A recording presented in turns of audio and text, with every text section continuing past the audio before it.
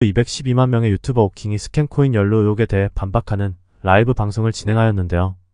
오킹이 scam 코인 연루 의혹이 일어난 건 최근 MMA 레슬링과 밀접한 스포츠 산업 코인 업체 위너즈가 scam 논란에 휘말렸기 때문인데요. 위너즈는 스포츠 선수 후원 및 육성을 위해 자체적으로 NFT를 제작, NFT를 사용자들이 구매하면 스포츠 선수와 유망주가 NFT 판매금으로 후원금을 받는 방식으로 코인을 발행하고 있는 것으로 알려졌는데요. scam 코인은 암호화폐를 만들겠다고 말해 투자를 받은 뒤 사라지는 일종의 사기 행위를 말하는데요.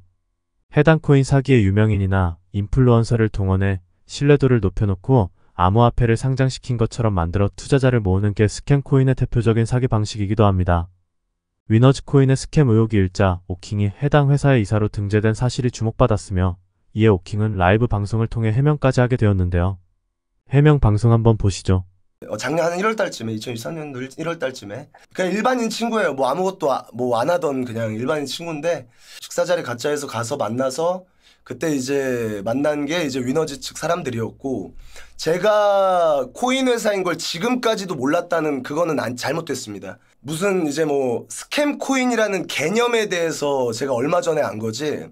그 처음에 이제 얘기 설명하고 얘기했을 때는 코인 회사라는 그거는 모르고 여러 가지 사업을 하는데 그 중에 코인도 있는 뭐 그런 느낌으로 저는 받아들였던 것 같아요. 이사 정도가 그 정도도 모르냐고 하시는데 이사가 그때가 아니었습니다. 그 이후에 1월 달에 그렇게 하고 주기적으로까지는 아닌데 그냥 뭐 저 친구들 만나듯이 만나면서 이런 말 하면 뭐 좀 그렇죠. 그냥 친구가 됐던 게 우선이었던 것 같습니다. 제가 그때부터 일을 했던 건 절대 아니고 3, 4월부터 유튜브 콘텐츠에 대한 얘기가 나왔고 제가 직접 회의에 참여하고 했던 거는 뭐 저도 정확히 봐야겠습니다만 어, 5, 6월쯤부터 예, 그때부터 얘기를 하고 했어요. 예.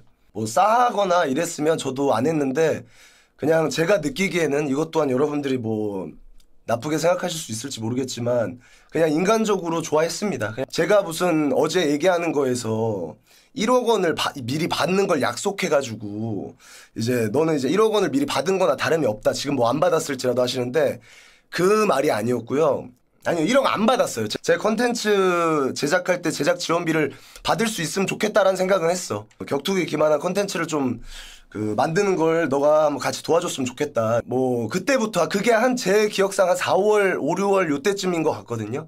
그래서 이제 그때부터는 이제 저도 그 기획에 참여를 했고 그 월장 컨텐츠가 무슨 막 코인 그런 게 아니고 그냥 격투기 그 어떤 분야별로 그 최고를 가리는 약간 그런 컨텐츠였고 그 실체가 없다. 어, 실체가 없다 이런 얘기가 이제 뭐 해가지고 저도 사옥을 다 가고 있고 거기서 실제로 뭐 PT샵이랑 헬스장이랑 그 격투기 체육관도 열고 있거든요. 예. 그래가지고 저는 다 실질적으로 사업하는데 어 스포츠 그 관련한 사업체 안에 코인도 있구나 이렇게 이해는 이해를 했어요. 코인 있는 거 알고 있었던 거네. 그러니까 네, 그러니까 그게 사업체 안에 일부 그냥 있, 있는데 코인이 다 불법이라고 생각을 못했어요. 죄송합니다. 막말로 비트코인이랑 이더리움이랑 스텔라루멘도 다 샀었는데 음, 그게 다 잘못이라고 제가 생각을 솔직히 말해 지금도 안 하고 있어서 뭐 저한테 코인 관련한 어떤 부탁도 한 적이 없고 저는 그냥 지금 제가 만들어야 되는 유튜브 컨텐츠만 잘 만들자 이거였어요. 제가 진짜 정말로. 그냥 컨텐츠 제작 지원에 제가 여태까지 같이 일했던 기업들 중에서는 가장 적극적으로 많이 해주고 해서 저도 더 열심히 하려고 했던 것 같아요. 그래서 몸 담아서 같이 일하고 어, 그 유튜브 건에만 저 코인 관련은 진짜 제가 혹시나 홍보처럼 보일까봐 코인 쪽으로 제가 그 위너즈나 이런 얘기 나올 때 제가 사지 말라고 뭐 물론 그게 저, 전체가 다 전자는 안 듣겠습니다만 뭐 이런 코인이 있는데 뭐 알아서 하세요. 이게 아니 저는 사지 말라고 얘기했거든요. 저 때문에. 절대로 이거 뭐 아니니까 저는 지금 유튜브 콘텐츠 제작만 하고 있다. 좀 몸 반 담아서 같이 일하다 보니까 아 오킹님 뭐 이제 고문 역할도 잘 해주고 계신데 그 뭐 이사직도 뭐 해보실 생각이냐? 하, 같이 하자. 뭐 어차피 우리가 뭐 이상한 회사도 아니고 지금 다 실제로 다 사업하고 있는데. 그래서 하자 해서 제가 그래서 아네 하고 아 뭐 오케이 하고서 그냥 저도 진짜 이거는 뭐 여러분들 어떻게 생각할지 모르겠지만 정말 이사를 그렇게 쉽게, 쉽게 한다고?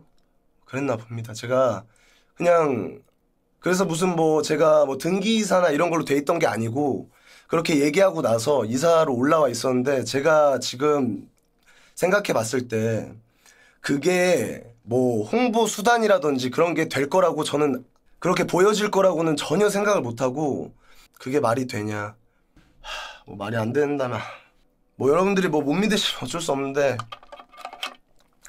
제가 이사 관련한 이사직 관련한 업무를 본 게 단 하나도 없고 고문 일 유튜브 제작이랑 똑같이 하고 있었어서 제가 그거는 너무 생각을 못했습니다. 정말 죄송하고 그냥 이름뿐이었던 거기 때문에 그냥 오늘 얘기해서 바로 내렸어요. 지금 그 들어가서 확인해 보시면 알겠지만 네 그래서 회사 네, 당연히 그만뒀고요. 지금 위너즈 회사에서도 저랑 오늘도 엄청 많이 얘기했습니다만 스캠 코인 뭐 어쩌고 저쩌고 장사의 신이라든지 주시- 아예 몰라서 제가 그거에 대해서 할 말이 없는데 뭐 거기랑 연관이 없다라는 것 그리고 스캠 코인이 아니라는 거에 대한 그런 뭐 그런 거는 지금 뭐 저도 오늘 갔는데 변호사님 뭐 아홉 명 정도 있더라고 그래서 대동해서 사실관계 엄- 파악해가지고 기사 낸다고 하니까 제가 왜냐면 제가 지금 스캠 코인이 아닌 이유를 제가 지금 여기서 제가 설명하는 것조차 웃기잖아요 그죠? 네, 저는 지금 일단 나오는 걸로 얘기를 했고 거, 거기서 끝났어. 근데 이제 위너즈 측에서는 그 아닌 이유 명명백백히 밝히겠다 해서 뭐 대표님 지금 뭐 뭐 기자회견도 하고 뭐 원한다면 뭐 방송도 켜서 자기들이 뭐 얘기한다고 하니까 거기서 이제 증명을 해낼 일이고 코인이 스캠은 아닌데 왜 개인 방송에서 사지 말라 했나요? 제가 모르는 거라서요. 월장 많이 봐달라고는 많이 얘기했습니다. 사업이 실질적으로 하고 있으니까 뭐막막 얘기하는 막 그런 안 좋은 코인들은 아니구나. 뭐 코인을 일부러 하고 있다고 하더라도 저는 그렇게 생각했어요. 솔직하게.